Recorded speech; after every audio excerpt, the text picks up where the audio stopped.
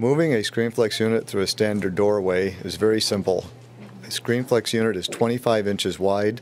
Standard door openings are anywhere from 28 to 36 inches wide.